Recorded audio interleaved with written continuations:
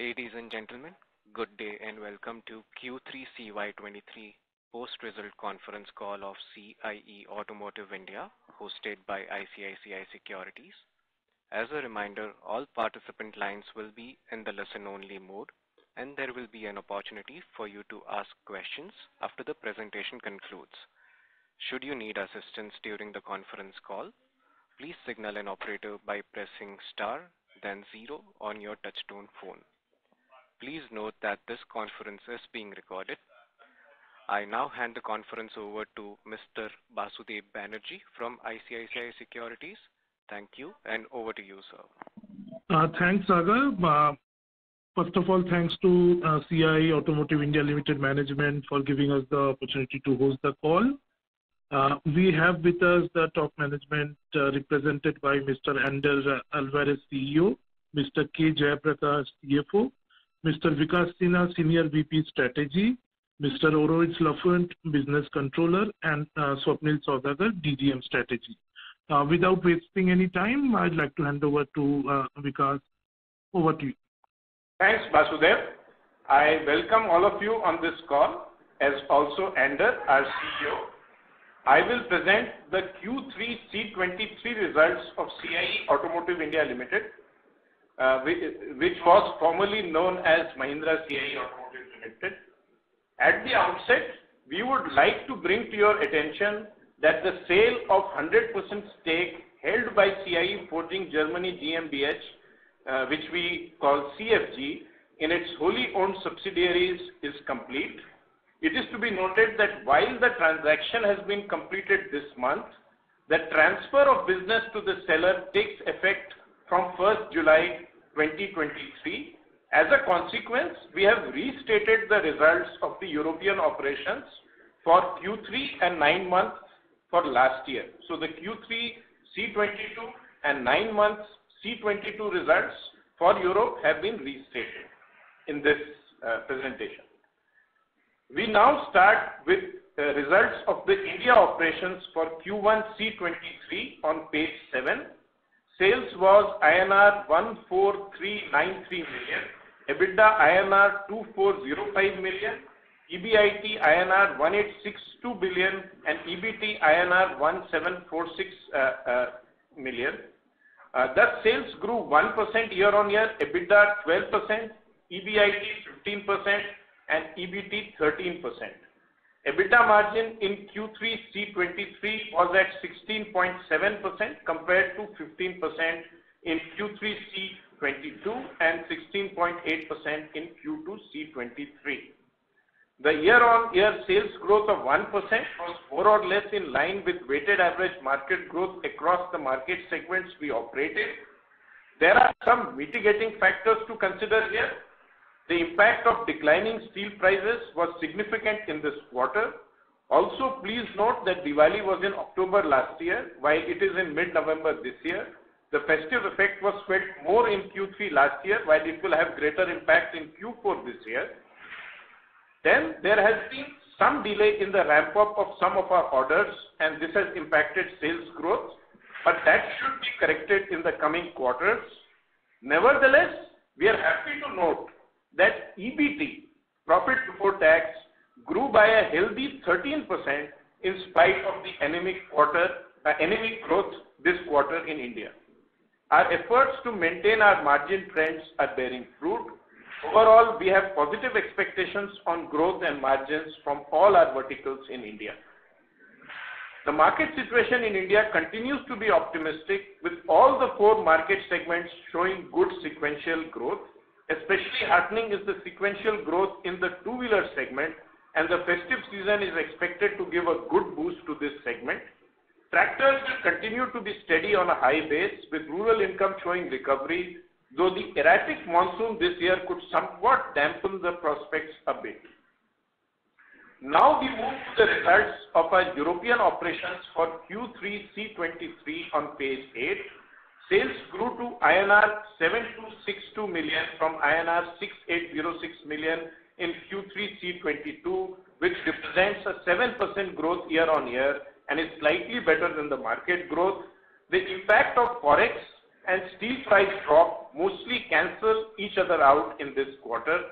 The drop in sales sequentially between Q3 C23 and Q2 C23 was 15%, which is in line with observed seasonality as August has almost a three-week holiday period.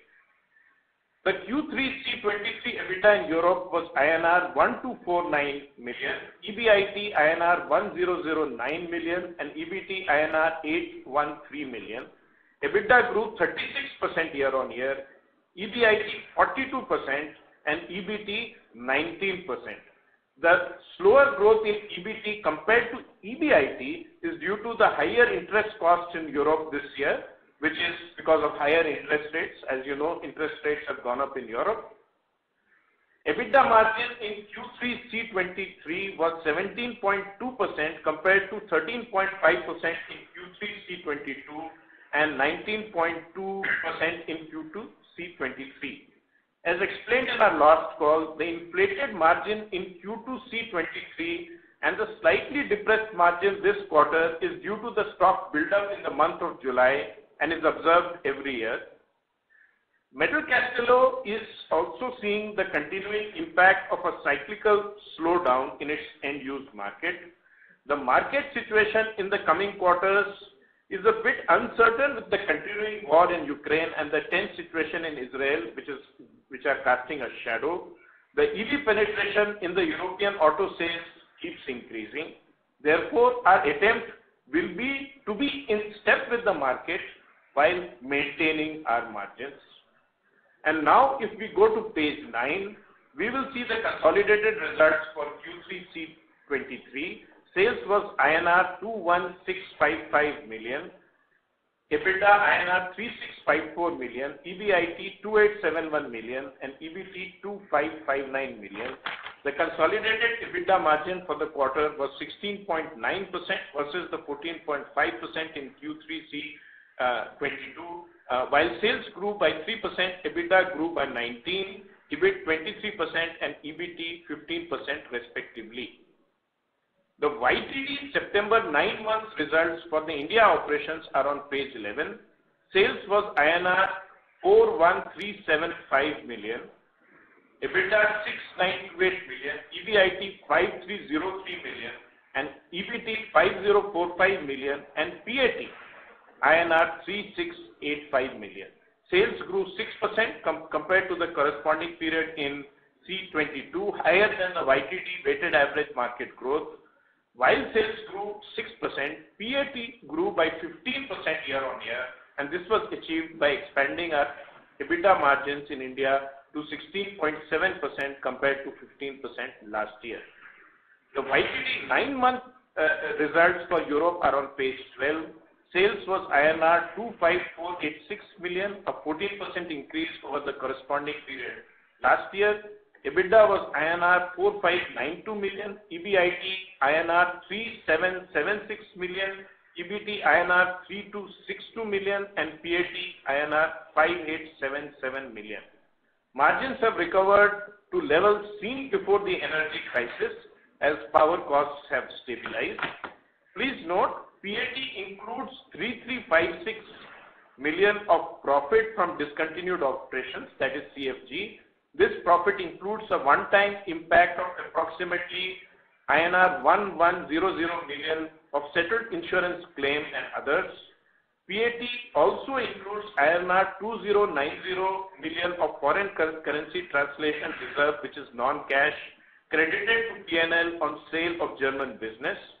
Normalized EBITDA over production value is at about uh, uh, 17%. The recurring PAT is INR 2,521 million, while YTD sales grew 14%. Recurring PAT in Europe, which is taking out all one-time value, grew by 26%. The consolidated YTD nine-month results are on page 13. Sales was INR 66,861 million, that is roughly 6,700 crores, a 9% increase over last year. EBITDA was INR 11,520 million, 1,152 crores. EBIT INR 9,079 million, EBT INR 8,306 million, and PAT INR 9,562 million, that is 956 crores. As explained in the previous section, PAT includes 3,356 million of profits from the discontinued operations. Excluding that, consolidated PAT for nine months YTD September 2023 was INR 6,206 million, that is 620 crores on, and we are on track to have the highest PAT in our history in C23. It is to be noted that while YTD consolidated sales grew by 9%, the recurring PAT grew by 20%. Recurring PAT, which is without any one-time, uh, you know, uh, non-recurring Uh, uh, profits from the discontinued operations. So therefore, to conclude, in spite of hiccups on the top line, we are on course to deliver an impressive improvement in earnings per share without any one-time factors. So thank you very much. We can proceed to Q&A. Thank you very much. We will now begin the question and answer session. Anyone who wishes to ask a question may press star and one on their touchtone phone. If you wish to remove yourself from the question queue, you may press star and two. Participants are requested to use handsets while asking a question. Ladies and gentlemen, we will wait for a moment while the question queue assembles.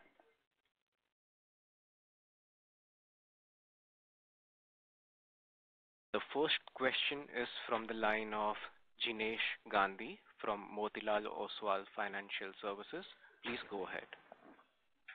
Uh, hi. Uh, quickly, uh, if you can share what was the impact of steel price decline or the commodity cost decline in the India business? Steel price. Steel price.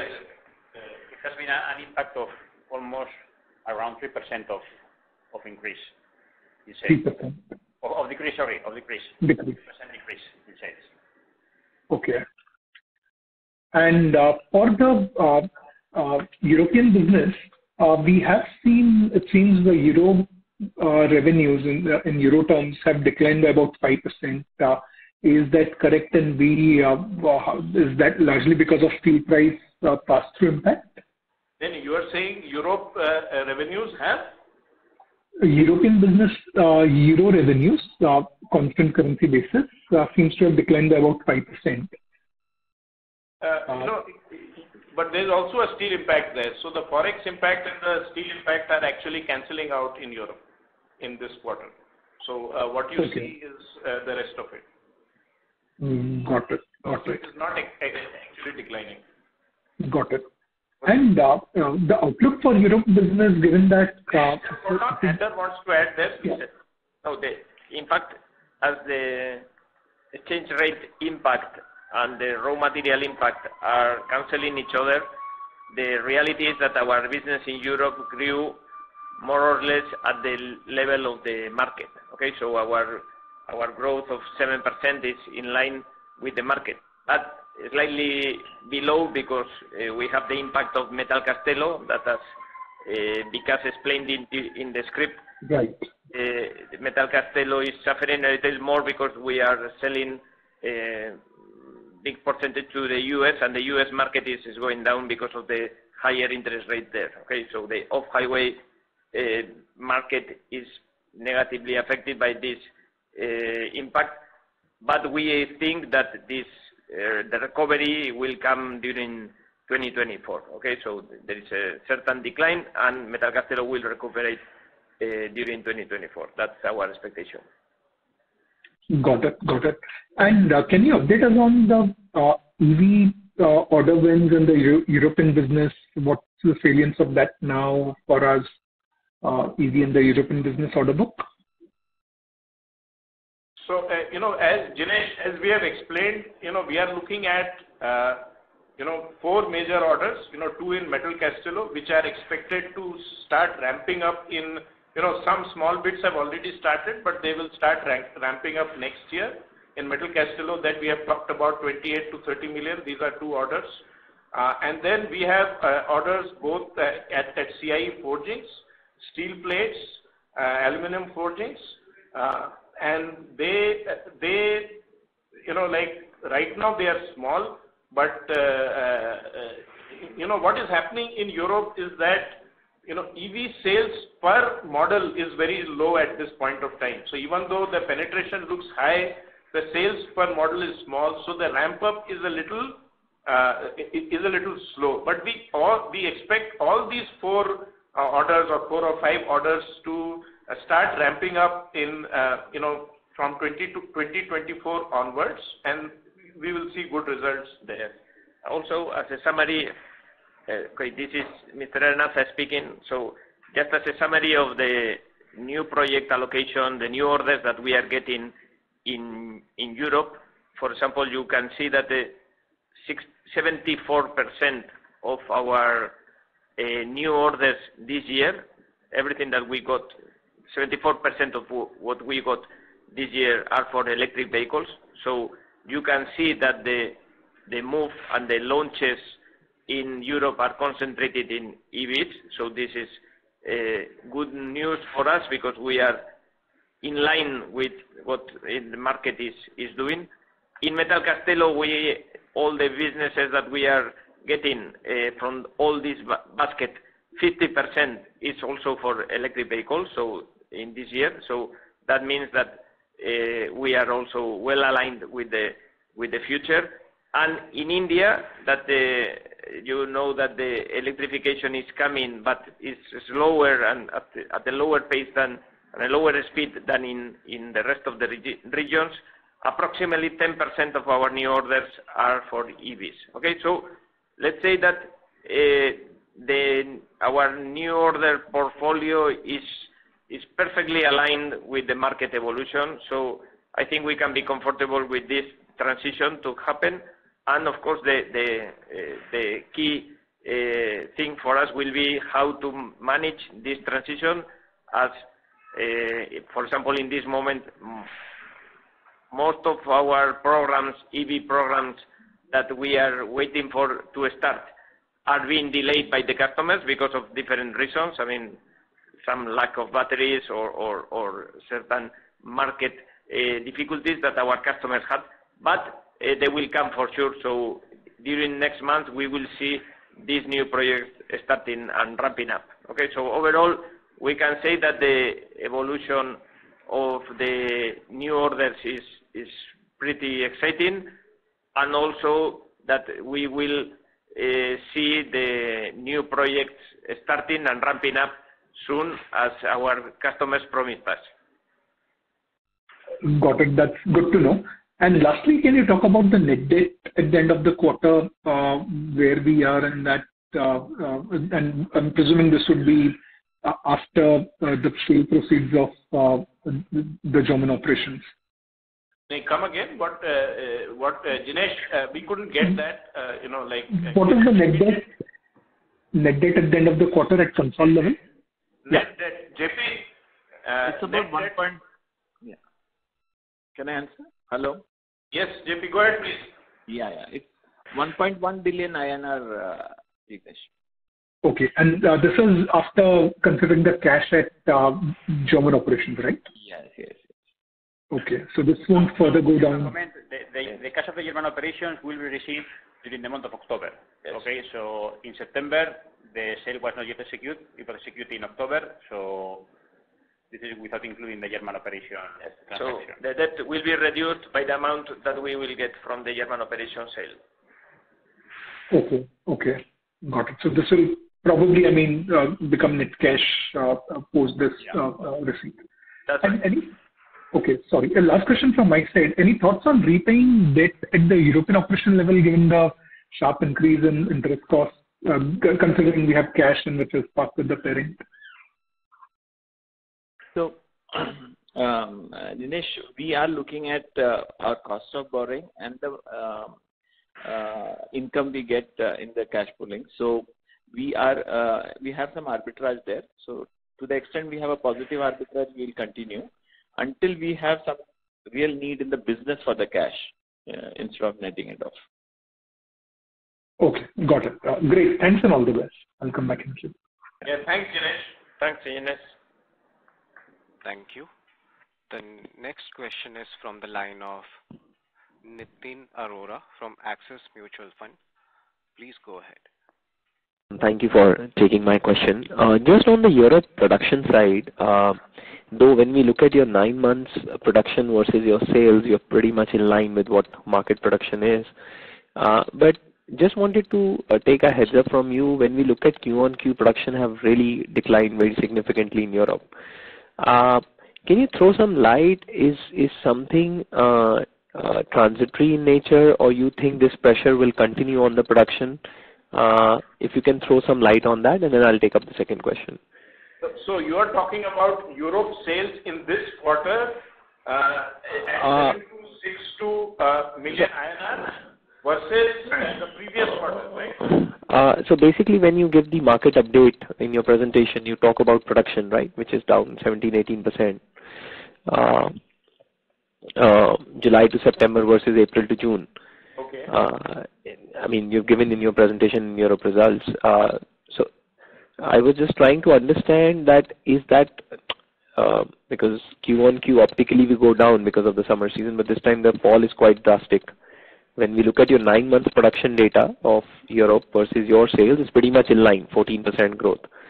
Uh, but we are trying to look that is this something uh, you're looking more this production run rate to continue, or there is some improvement is coming in in Europe as far as production is concerned for your clients? Q-on-Q, that drop of 17 or 15%, you know, we have, the market has dropped 17, we have dropped 15. Yeah. This is very much a factor of seasonality. Okay. In August, almost three weeks are off. Correct. So, you know, so three weeks out of 12 weeks is off. So, you know, like in a quarter. So you see that kind of drop in in the sales. That's all. And, okay. And in Q4 also, please bear in mind, in December, one week is off. So obviously in Europe, H1 is always better than H2. In India, it's the reverse because we have the festive season in the second half. So this is very much in line with seasonality. You know, the market is what it is. You know, there is no panic in the market. There's no demand drop in the market. This is pure seasonality. I mean, every year there is uh, seasonality, but we don't see that much drop. It's fine. I'll take it offline. That's fine. Uh, second is, uh, when we look at your just on the India business, especially on two-wheelers, because one of your large clients is still ramping up on exports, uh, which uh, uh, we are not seeing that much ramp up happening. But generally, on the two-wheeler side, you're seeing production ramp up happening. That is one from your, let's say, large clients and few other clients. And Second, in terms of margin improvement from here, we are seeing that few of the OEMs are clawing back margin. They're not giving easy margins out to the Uh, ancillaries and uh, down the chain. Uh, can you throw some light on that as well, as far as margins are concerned? Just those two questions. So on the two-wheeler side, you're right. You know, the exports is has not recovered as much as we had thought. On a YTD basis, exports, two-wheeler exports are down about 20% on a YTD basis overall. And you are right, you know, our, you know, one of our strategic anchor customers, Bajaj, is very dependent on exports, and of course, we suffer eh, accordingly. But the point is, the domestic market is certainly looking up. If you look at the retail sales data from the Dealers Association, FADA, you will see, you know, there is some good news there. Yes, it is slow growth, but it is coming back. So on two-wheelers, we do think that the festive season will give a little bit boost to the two-wheeler market, eh, two-wheeler uh, numbers in India. To your second question on margins from OEM, that's a constant, you know, dialogue that we have with our OEMs. You know, uh, yes, OEMs are always interested in optimizing their margins. We are obviously interested in optimizing our margins. We are partners, and this dialogue continues. So my question was that, uh, is it something 16%, 17% is somewhat, uh, we'll try to maintain, or do you see further from synergies? Um, though you have articulated earlier also that maximum synergies have been taken in, Uh, do you see further scope from here, uh, of improvement? Okay, that is a very good question. In fact, what we think is that we still have uh, room to improve our internal efficiencies. That is our main fight in our operations. We have all the all the verticals doing a great job to continue improving, and we think that we will be able to continue this journey. And uh, the room for improvement is there, and we have already identified the gaps. So uh my answer is clearly yes. Also, uh, this market uh, growth that we expect and business growth that we expect for the next quarters will also support us on this on this margin improvement. We have a lot of projects in the pipeline that are delayed, as I explained before. And once these projects are ramping up, we will see certain improvements also. So overall, I would say that the margin improvement is a never-ending story. You know, I mean, we need to continue improving. Always, we said that the gap compared to our European or Mexican operations is still high in India. We think that we can do uh, our production even better. So that's what we are doing, trying to be really competitive in India and get the appropriate margins for the company. So uh, my answer is very clear to you, is yes, we need to improve the margins. We think that we can do it. Great. Thank you so much, team. All the best. Thank you. Thank you. Thank you. Thank you. The next question is from the line of uh, Nitesh Rege from Chris Capital. Please go ahead. Uh, hi. Thank you for the opportunity.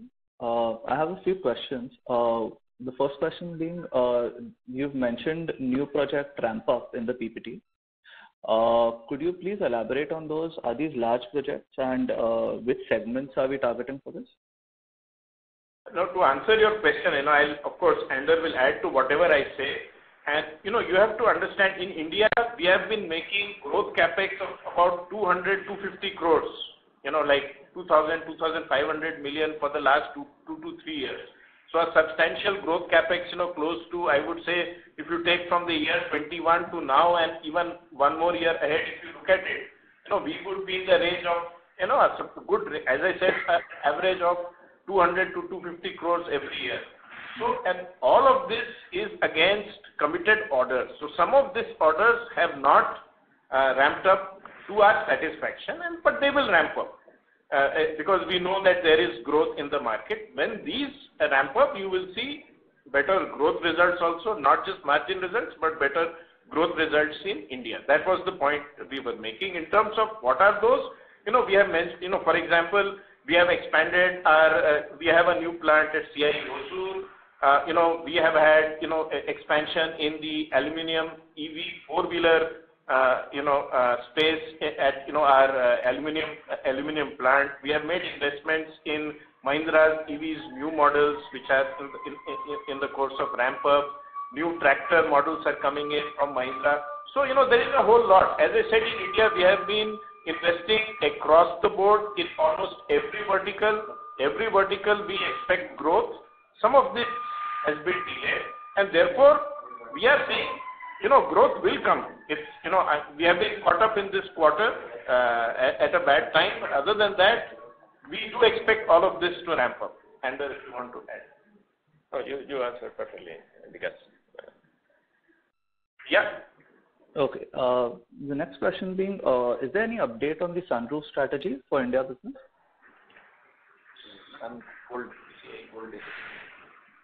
Sunroof. No, there is no news at this moment on this. The sunroof business in India is doing well, is growing, and we will analyze internally and come back to the. Yeah. To the board and of course, then to the market.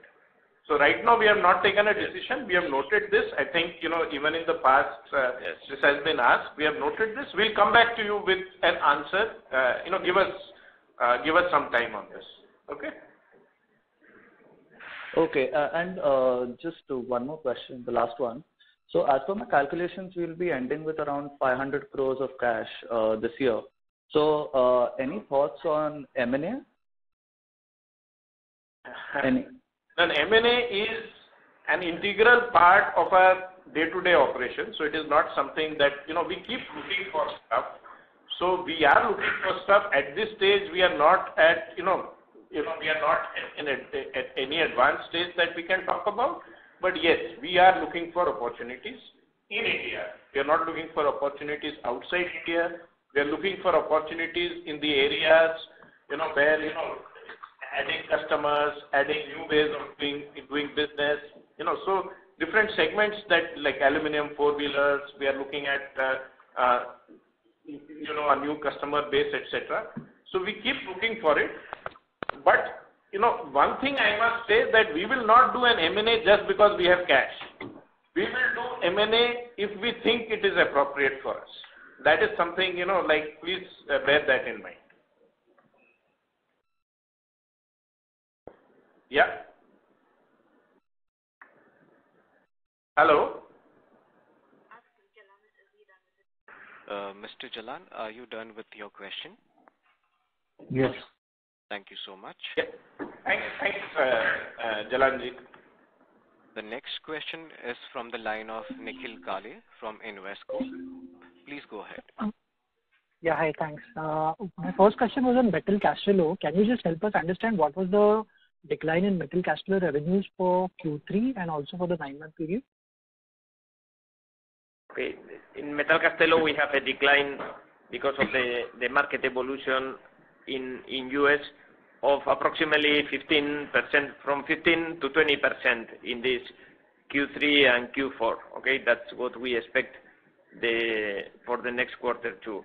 Then, eh, what we are told is that during next eh, calendar year, there will be a recovery. Okay? So the situation is that now we have this 15%-20% drop, and then we will see perhaps in Q2, Q3 next year, we will see the revamp again on this business.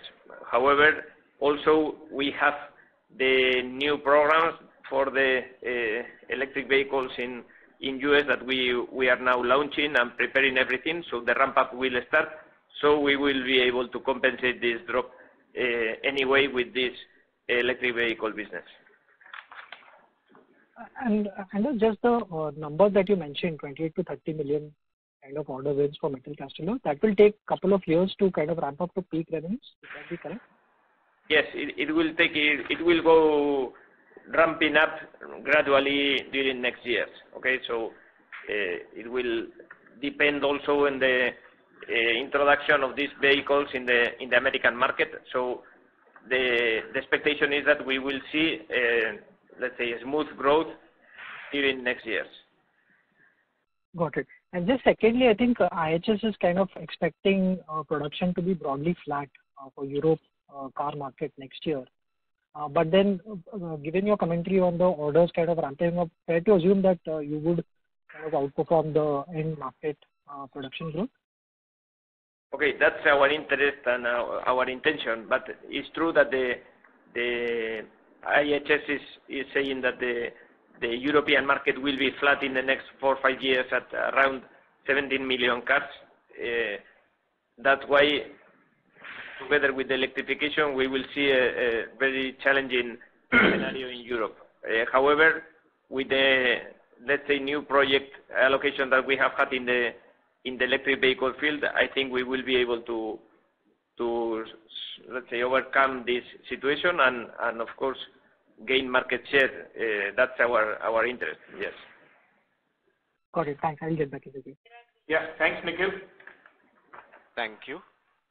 The next question is from the line of Vimal Jamnadas Gohil from Alchemy Capital Management Private Limited. Please go ahead. Yes, sir. Thank you for the opportunity. Sir, my question is on uh on the India business. You commented that Uh, you spent almost 500 crore-750 crore on growth CapEx uh, with committed businesses from customers. Uh, now, just trying to think aloud as to why will the customer not go ahead despite the market seeing some seeing good signs of growth? I mean, if you look at the new models, they are flying off the shelf right now. So, where where exactly is the challenge? I mean, the orders potentially should have should have come. And why should there be a delay in the first place? Yeah. Thanks. No, they depend on specific projects, uh, Vimal. So no, you are right. The markets are not doing badly, especially for four-wheelers. Two-wheelers is not doing well. You know, some of the models that I talked about are EVs. So we talked about the aluminum four-wheeler EV uh, production. Uh so so there are so there are specific areas. Of course, uh, in general, the markets, especially for light vehicles, is doing well. No doubt about that.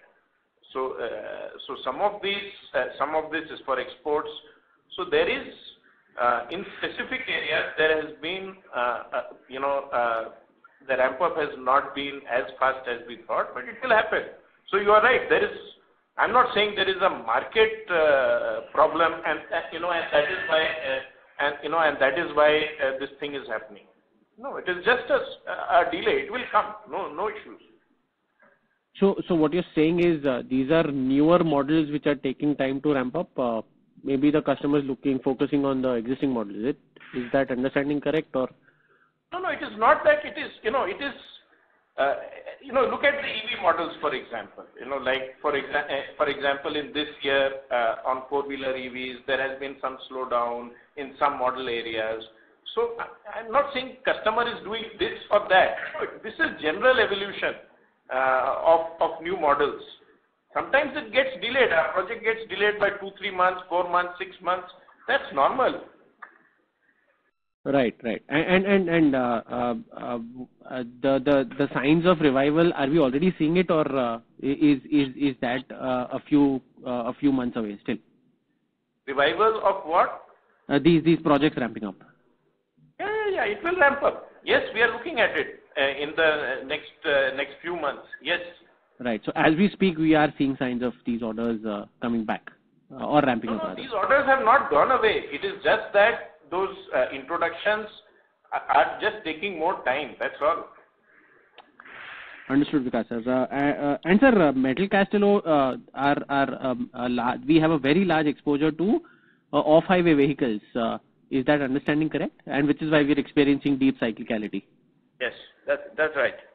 Castillo. The revival should be should be uh should be sharp, right? Because if the slowdown has been so uh has been bad, so the revival should be should be equally sharp. Is that is that has it played out similarly in history, and can that be expected in the future as well?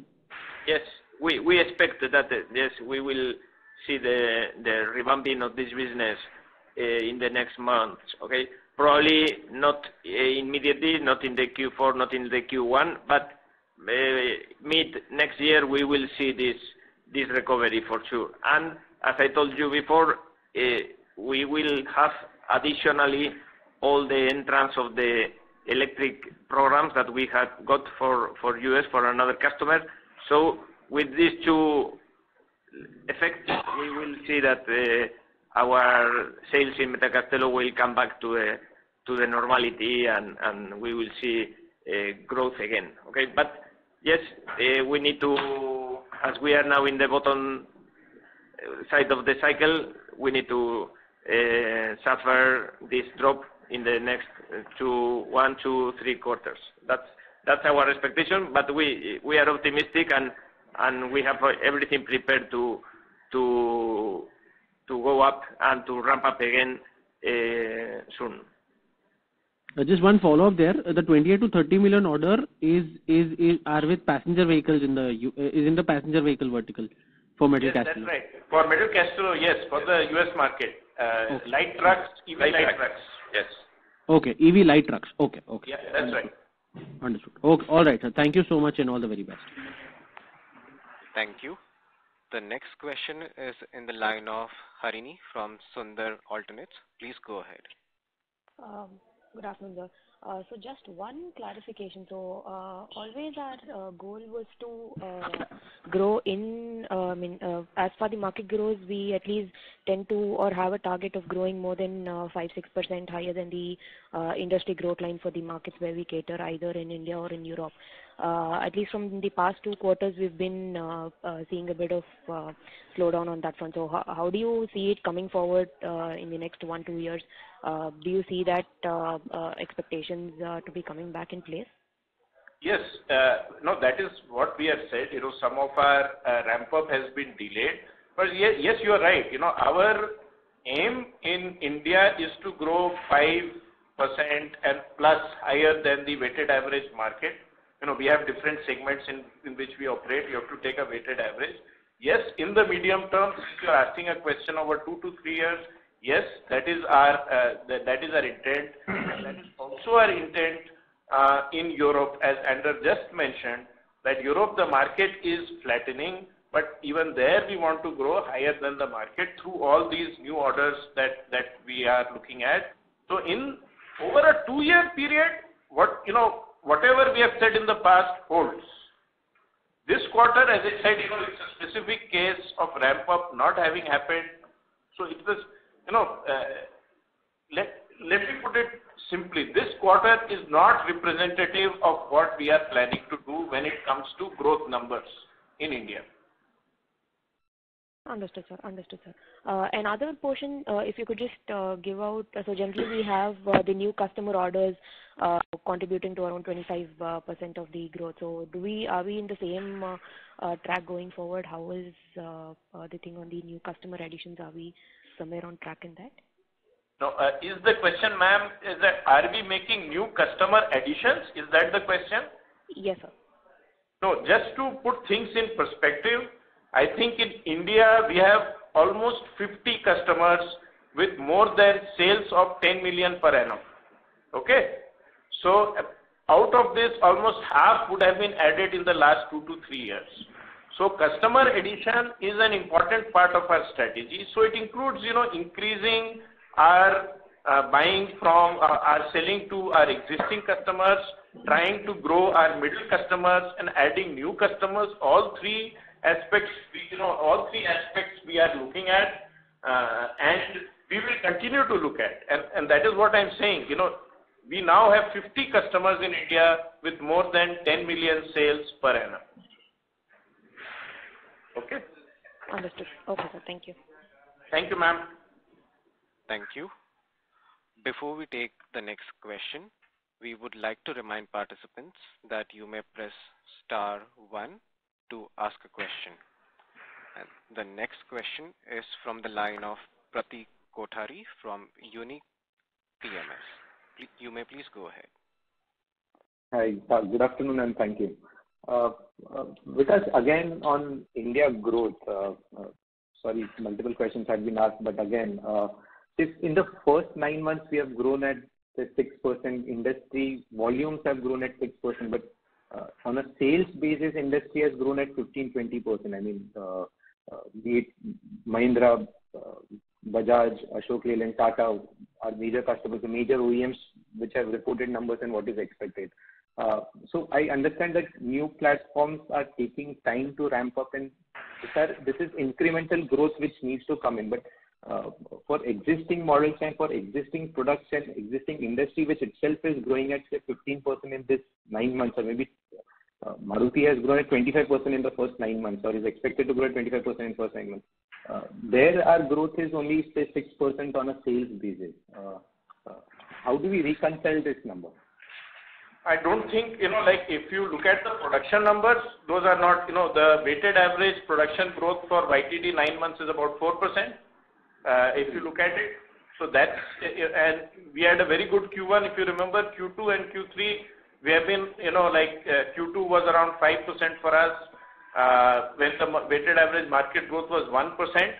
So uh you know there are different numbers that are reported, but if you look at the production numbers of various OEMs, then you can clearly see the weighted average growth for YTD nine months is roughly around 4%.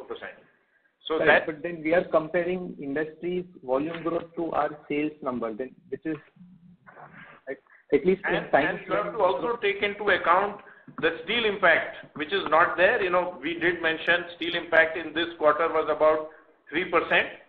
So if you, if you take that steel impact, 6 plus 3 roughly is 9% versus a weighted average market growth of 4%. Eh, you know, like, eh, steel, is you have to keep it aside because at the end of the day, growth is what it is. And to your specific question on different OEMs, uh, different OEMs have done differently. Mahindra Auto continues to do exceedingly well. There's no doubt about that. Mahindra tractors on a YTD basis may not, you know, may be a little lower than uh, on a YTD basis. Maruti and Bajaj, again, maybe similar. Bajaj might be a little lower.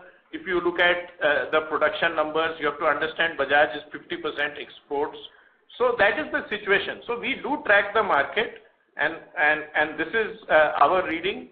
Uh, on a weighted average basis, about 4%. We have grown 6% without the steel impact. Steel impact has been substantial this year, but as I, you know, as we have said in the past, that is something which is part and parcel of the business. And uh, so, uh, this is the, when you talk about the YTD results, this is how uh, we look at our results. And going forward, things will be better. Correct. Point taken, but my only limited point was steel also impacts the OEMs when they sell, right? So OEMs are growing at 15% on a sales basis, and our growth is 6%. No, we look at numbers, their production numbers, not, you know, like, their sales numbers we don't track. We look at their production numbers. And what we are talking about when we compare the market, we compare the production numbers. For us, that is what uh, is important. Whether, you know, how they pass on the sales, et cetera, we have not looked into that. You know, we have not analyzed that on uh, for the OEMs. But whenever we talk about the market, we talk about production numbers, not even sales, domestic sales. You know, production numbers includes domestic sales and exports, Uh, and, you know, the effect of inventory, et cetera, that they have. So that is, uh, you know, that is how we look at the market. Fair enough. Sure. And, uh, second, on margins, I mean, first of all, a commendable job. I mean, we have come all the way to 17, our aspirations are even higher. So, given we are a process engineering company, I mean, it's commendable what we have done. Hearty congratulations on that. Uh, just a question on that. I mean, uh, given we are not a product company and a process engineering company, so, uh, I mean, how is it that our customers, the OEMs, they also would be looking at our numbers, the margins that we report? I mean, how do they allow us to make this kind of margins? And given our attempt to keep margins at such a high level, and this might be one of the best in the industry, in terms of competition, et cetera, does that not hamper us, given the margins that we are achieving? No. Our customers are our partners, so we are not in competition with our customers. So as long as we meet the requirements, and based on our efficiency, efficiency level, that is to us. So when Anders speaks about margins, he talks about efficiencies. But that does not mean we will not meet the requirements of the customers, whatever they are. So as long as we meet the requirements, it's okay. And if they ask us for price reductions, etc., that of course, you know, we'll have to work that out. You know, that's a constant dialogue. Our customers are our partners. They are not in competition with us. Uh, as I said earlier, they optimize their margins, we optimize our margins. Our focus when it comes to margin improvement in India remains efficiencies. In fact, you had asked the question in the last call when Anders had given, uh, you know, a long, long answer on what we are doing to improve margins. If you go back to that answer, it has nothing to do with pricing, it has nothing to do with customer requirements. They are all internal. If you recall, it was automation, it was, you know, uh, production per person, uh, input-output ratios, layouts. You know, these were the things that we talked about last time, and that is the focus for us. So therefore, you know, whenever we talk about efficiency improvement in India, there is a long way to go on the engineering aspects itself. After that, of course, whatever the customers ask us, we will try and meet the requirements as far as possible. They are our partners, they are not our competitors. Okay? Correct. So largely, the efforts that we make internally for improvement, efficiency, productivity, uh, largely is for us to keep and, uh, not that we have to share it with the customer. No, there could be different arrangements there. You know, customers might require... They, might have their own requirements. All that I'm saying is, our margin improvements in India, we do think that from an engineering aspects, we still have room to improve. How much we share with our customers, what we share with the customers is a different issue. All that we are saying is we do see lot of prospects for improvement on the engineering side in India. Still, that's that's that's what where we are at this moment. Great. Thank you and all the best. Yeah. Thanks, Prateek. Thank you. The next question is from the line of Priya Ranjan from HDFC Asset Management Company. Please go ahead. Yeah, thank you. Uh, just one thing. If I'm not wrong, I think because you have mentioned around 6% growth have an impact of, say, 9% of uh, adverse impact of commodity. So on a YTD basis, is it uh, fair to assume that the volume growth was 15%? Is this what you wanted to say? No, no. No. The weighted average volume growth of the market was 4% on a YTD basis in India. Yeah, that I understood. But for you, because you had a 9% adverse impact of uh, commodity or steel price, so your volume growth was 15%. Not 9%, 3%. 3% of decrease. 3% of decrease. 3% for this Q3 for YTD? For YTD, we'll have to work it out. We'll have to work it out, but you take this as representative, that is what we were we were talking about. Okay. So, so the volume growth probably will be 3 plus whatever YTD. Yeah. No, no. So uh, it's not that we don't have growth. Yes, when the, you know, the steel, normally when the market is growing very high, the steel impact does not matter as much. But right now, because of tractor growth and two-wheeler growth, which is a little you know, like Bajaj, Mahindra tractors, even Maruti is you know, on a YTD basis, 0. When you see this, then the steel starts having an impact. But having said this, you know, that's part and parcel of our business. We cannot uh, keep talking about it. So it is what it is. But yes, uh, when our uh, you know, uh, ramp-up happens elsewhere, I think you will see better better growth numbers. Understood.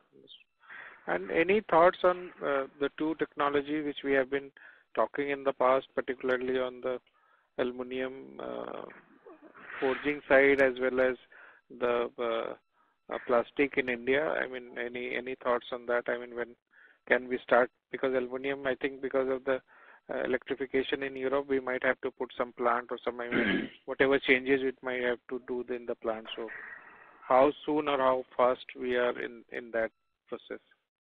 Aluminum forging is in Europe. That's what we are doing. We have already started to do it in a small way. Hmm.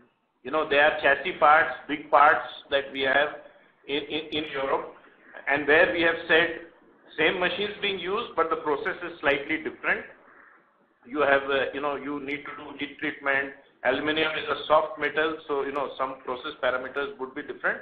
So in Europe, we have already started doing doing it. In India right now, the need for aluminum forging is limited.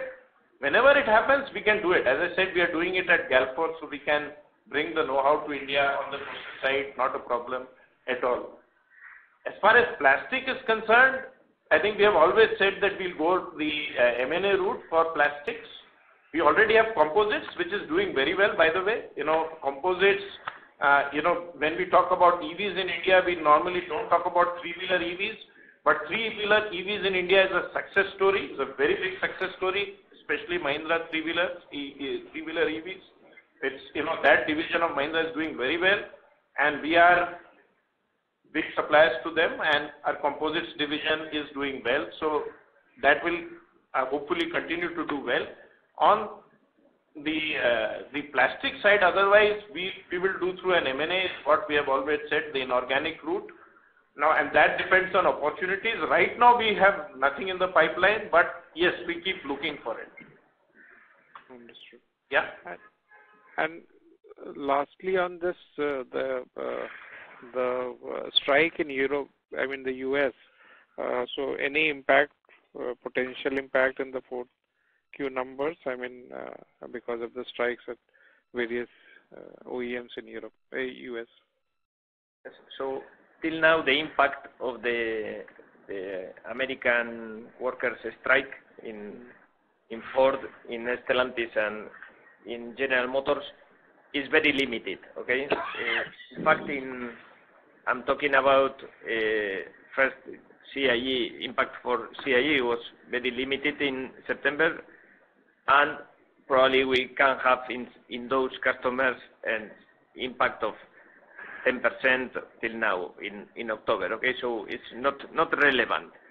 And coming back to, to CIE India, we have only certain impact on our uh, forging activity in Mexico, where we supply to GM through uh, Tier 1, and we are seeing certain uh, minor impact there. So till now, the impact of this strike is not relevant.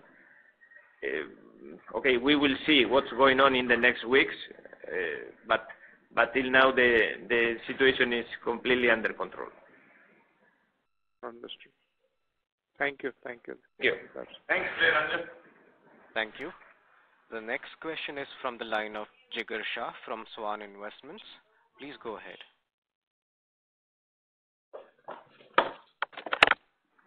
Uh, uh, uh, thank you, team, for taking my question. I'm Vishal Srivastava here from Swan Investments. Uh, I have few questions. Most of my questions have got answered. I have few questions regarding European operations.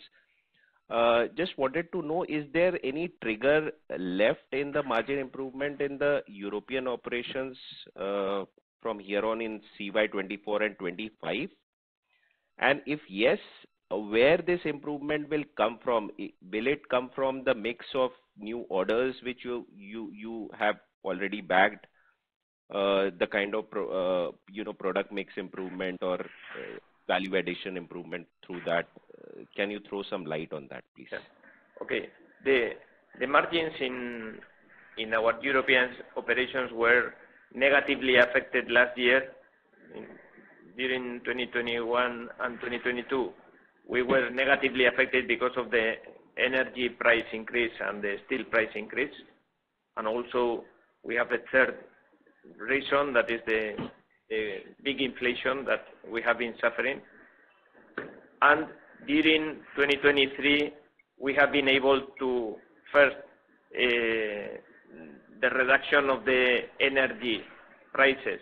I mean, the energy, eh, electricity prices has gone down to a stable levels at around 100 euros per megawatt. That's where we are now. So this reduction in cost has eh, allowed us to recuperate certain margins. Also, we have negotiated with the customers all the steel and energy update systems. I mean, so we most of our customers have accepted that these eh, cost drivers need to be eh, indexed. That has been done, so we have recuperated the margins that we lost. And finally, we have the inflation, where eh, we are eh, negotiating with the customers, and okay, that is a much more difficult issue to discuss. But overall, what we have done is we have been able to recuperate the margins that we had before the crisis.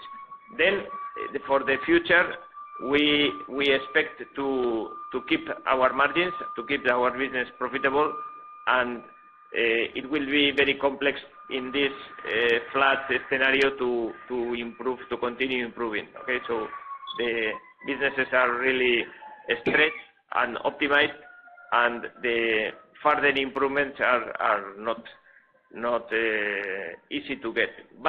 Overall, I would say that our aim is to maintain our margins in the current situation once we have recuperated them from the last year drop. Fair, sir. Fair. Thank you. Sir, one more question regarding uh, the new orders which we have got in Europe. Sir, are these orders are through replacement of the existing programs, or these orders are new programs which will lead to our market share gain? Okay. Uh, You know that most of the uh, programs that we are getting in in Europe are for electric vehicles that will replace the current internal combustion engines. Okay? So we can expect that the electric vehicles will replace the the internal combustion, the current programs. Uh, this is a clear substitution. Okay?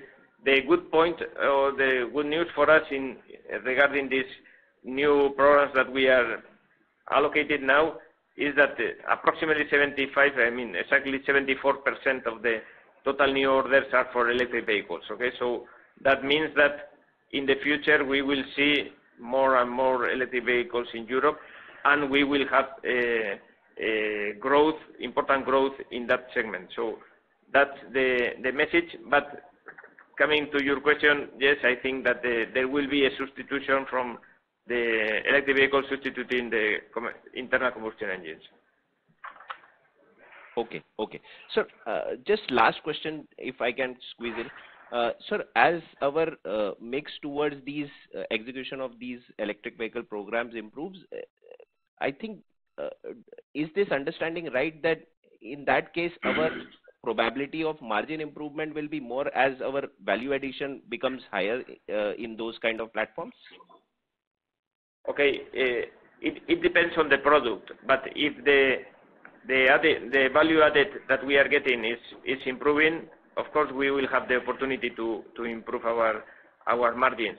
In the case of Metalcastello, for example, when we are talking about these electric vehicle components that are much more complex components, yes, we expect to improve our margins as the added value and the complexity of the product is growing. Also, I can tell you that uh, in India, we are doing also the same process. Uh, we are increasing the added value of our components, growing in the complexity. That means that we will be able to continue growing. Uh, perhaps I missed this point in my previous answer when we were talking about the improvement on uh, internal efficiencies, but also the change on the portfolio and the increase of the complexity of the products will give us room for this margin improvement. Of course, we need to take the risk of making more complex products, and that is also additional effort from our engineers and from our production people.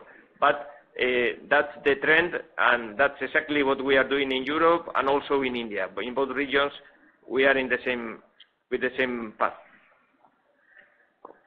Fantastic, sir. Uh, sir, thank you for taking my question, sir. Uh, thanks and all the best, team. Yes, thanks, Vishal. Thank you. Thank you very much, Vishal. Thank you. The next question is from the line of Bharat Sheth from Quest Investment Advisors Private Limited. Please go ahead. Hi. Thanks for the opportunity. Question is for uh, Ander. Hello? Am I audible? Yes, Bharat. Yes. yes. Go on. So, Ander, I mean, uh, Vikas has given I mean, some color on this uh, aluminum forging. So whereas we have aluminum forging in Europe and aluminum casting in the India side. So how are we seeing, and when do we expect that really aluminum forging uh, can really uh, emerge for a big business like aluminum casting in India? And what are the I mean, the challenges, the uh, difference between these two processes, and if you can give little more color as well as the end user? When will aluminum forging come up in India, and uh, what is the challenge in making aluminum forging? Okay. Eh, we will see the aluminum forging coming to India eh, soon for, let's say, eh, a small product and small applications in probably in the two-wheeler sector. We already have certain aluminum forging components. And for the four-wheelers, forged aluminum is, uh, uh, let's say, uh, premium premium car component. Okay? That's why the volumes that we can expect in India for aluminum forging are lower than than other technologies, mainly because of these premium cars that should that they use this this kind of aluminum forgings. In Europe, we are getting these new programs, this aluminum chassis component for premium cars.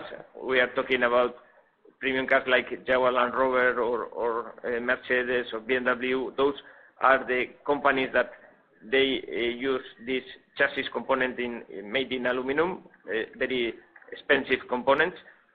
and That's our bet for our European business. And If this trend is coming to India and uh, there is this uh, premium cars being produced in India in the future, we will be ready to do that. Okay? So my my view in this moment is that the, this aluminum chassis component will be produced in Europe at the first stage, and for the two-wheeler in a certain small components will be also produced in India. Okay? That's that's the the the answer to your question. Okay, fair. And second uh, question, because when we are saying this two-wheeler uh, is down, we understand is largely export, whereas in domestic, how are we seeing? Because in our uh, presentation, we have said that CRISIL is anticipating 7% of growth in two-wheeler for FY24 and then going. So how do we really read this? And what is the on ground uh, things are happening? No, no. Uh, you know, who is saying 7% growth in two-wheeler market in 24? I mean CRISIL statement, which we have published in uh, CRISIL research. CRISIL research. Okay. Now, yeah. uh, 9 to 10 to 11% in fiscal 24. Now, see, CRISIL publishes sales data. We are talking about uh, production data. So when you are looking at those sales numbers, they are domestic sales. So domestic sales is recovering in India, as we talked about. Export sales has yet not recovered. I think the latest data suggests that exports in India on a YTD basis, I've said this earlier in this call itself, was 20% down. So you have to look at uh, you have to look at both. But yes, the good news is the domestic market for two-wheelers in India seems to be recovering, but it is recovering slowly. It's not as if, you know, there's a huge recovery. So I think that trend will continue. Okay. And secondly, on the tractor, how do we see, really see on the ground with there was a concern on the monsoon and September was a good rain. So how are we seeing? So on tractors? Yeah. Now, tractors, I don't think, at least Uh, for the next few quarters, we think it will be stable on a sequential basis. That is our expectation of the tractor market. So you are right. So the monsoons, unfortunately, in India was like a, sinusoidal curve. So June was very bad, July was extremely good, August was extremely bad. If you remember, the driest August in 25 years, and September was decent. So now that has its own impact. You know, you know, an agricultural expert will tell us that that has its own impact, you know, the water bodies, etc., and all that. So we don't expect tractors to grow too much in the coming uh, coming months. Uh, of course, there is a festive season that will have some impact, but tractors expected to remain stable. You know, if you look at the tractor numbers, I think Q3 numbers was negative. Uh, uh, year-on-year, but we do think it will remain stable at the sequential level. That's that's our reading. If we are proven wrong, we'll be happy about that. Okay. And Last question to Ander. See, in Europe also, we have seen some decline in uh, and uh, Q3 and Q4 also will remain softer. Whereas in India also, we our volume ramp up has not be in line with our expectation. So how much operating leverage do we have to, again, apart from our internal efficiency, to improve the EBITDA margin? Okay. As I mentioned before, we are continuously working on the internal efficiency improvement, okay?